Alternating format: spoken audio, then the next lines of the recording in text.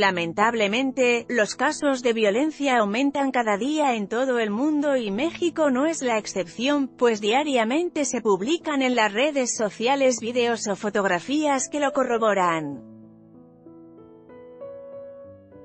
De acuerdo con la información publicada en Letra Roja, dos hombres fueron agredidos a balazos la madrugada de este sábado en calles de la alcaldía de Álvaro Obregón, Ciudad de México.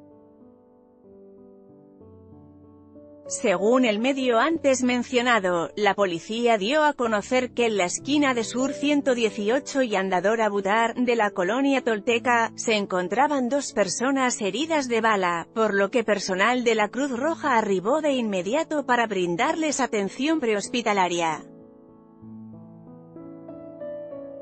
Tras revisar a los heridos, se percataron que uno de ellos presentaba ausencia de signos vitales mientras el otro aún se encontraba vivo, por lo que procedieron a trasladarlo a un hospital público para una mejor atención.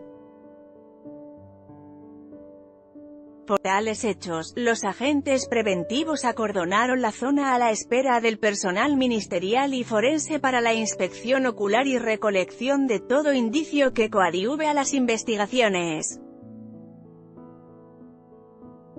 Hasta ahora no se han dado a conocer más detalles como cuál fue la causa del ataque, aunque las autoridades no descartan una posible venganza, o si ya tienen a algún sospechoso en la mira.